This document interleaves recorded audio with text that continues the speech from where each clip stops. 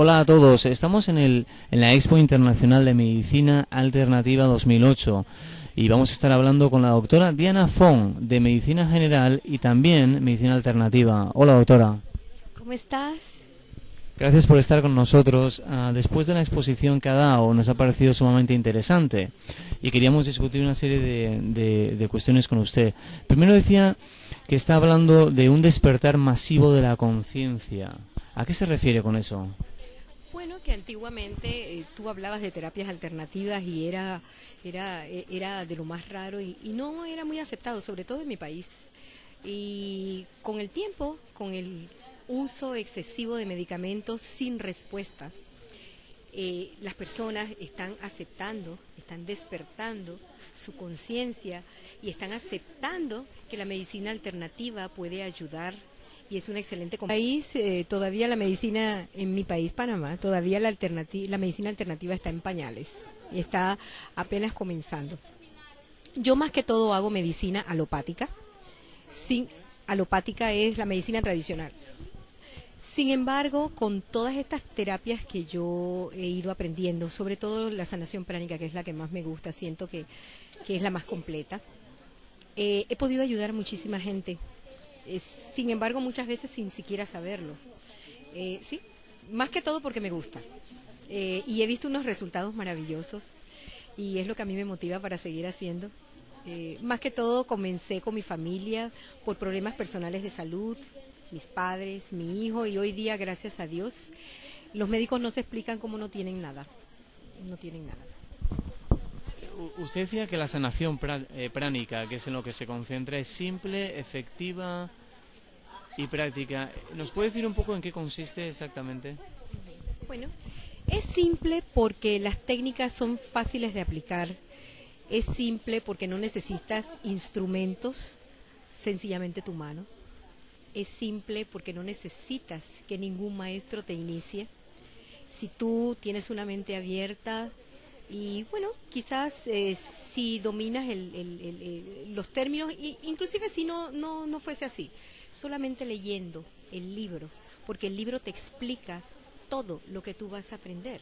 O sea, no es como en otras cosas, en, otros, en, otras eh, escuelas o filosofías, donde tú tienes que aceptar las cosas porque te lo dicen así. No, aquí te enseñamos y tú lo puedes medir y comprobar todo.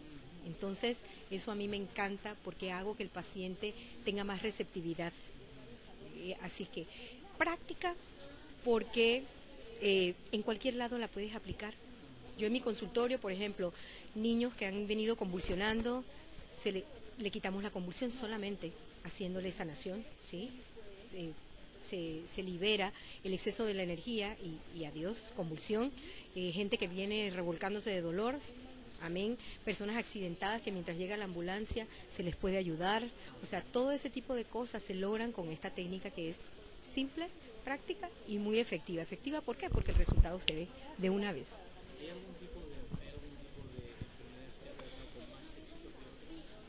Eh, bueno, yo lo que más veo en el consultorio, por ser médico general y estar en un consultorio popular, yo también estaba en un consultorio a nivel hospitalario que era donde hacía sanación, pero ya, ya no estoy ahí.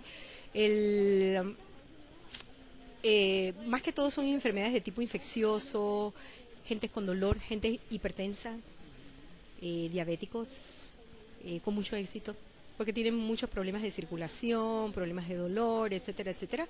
Y esta terapia es muy efectiva.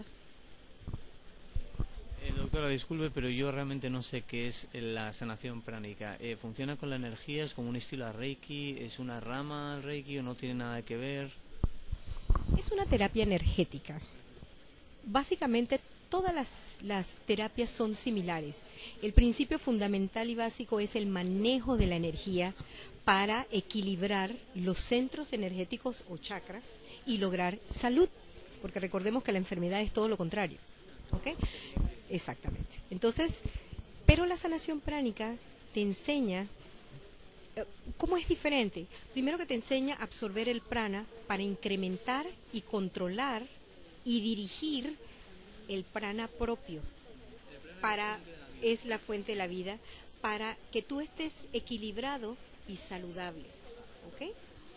y también nos enseña a proyectar esa energía. Cuando tú estás equilibrado, recordemos que no podemos dar lo que no tenemos. Por eso es tan importante lograr nosotros el equilibrio primero para poder sanar a los demás.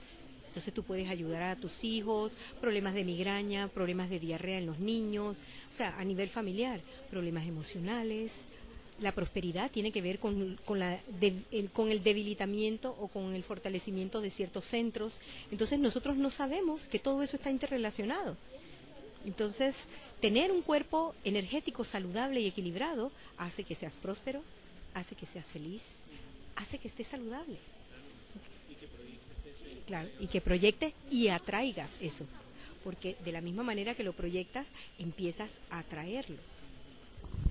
¿Cómo, mm, ha mencionado que va a tener un seminario. ¿Cómo se puede iniciar una persona que esté interesada en esto? ¿Puede tomar un seminario? Eh, ¿Hay seminarios online? O si puede dar su información, por favor. Bueno, seminarios online no hay todavía. El seminario eh, dura, tiene una duración de dos días porque es bastante material y se practica mucho. Eh, mi um, email o mi página es dianafon arroba dianafon f o n g al final arroba cwpanamá.net y mi celular es 66146993 eh, no ahorita no tengo página web.